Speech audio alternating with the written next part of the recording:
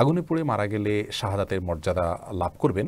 নবী করিম সাল্লাহ আসলাম বিভিন্ন হাদিসে শাহাদাতের মর্যাদা লাভ করবে। এরকম ব্যক্তিদের প্রকার উল্লেখ করা যায়। কোনো কোনো হাদিসে আসছে যে শাহিদ ও খামসুন, পাঁচ ব্যক্তি শাহাদাতের মর্যাদা লাভ করবে। এর ভিতরে নবী করিম সাল্লাহ সাল্লাম বলেছেন যিনি আগুনে পড়ে মারা যান তার কথা।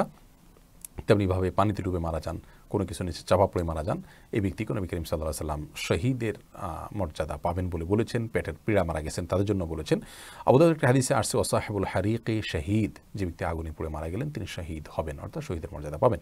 তবে এই শহীদ আল্লাহর রাস্তায় নিজের জীবন বিলিয়ে যিনি শহীদ হয়েছেন, আল্লাহর দিনকে বুলন্দ করবার জন্য তার সমপর্যায়ের শহীদ হবেন না, তিনি হবেন শহীদে হাকিকি বা প্রকৃত অর্থে এবং সার্বিক বিচারে শহীদ। আর এভাবে যারা মৃত্যুবরণ করেন, তারা হলেন হুকমান শহীদ, অর্থাৎ বিধানগতভাবে তাদেরকে শহীদ বলা হবে।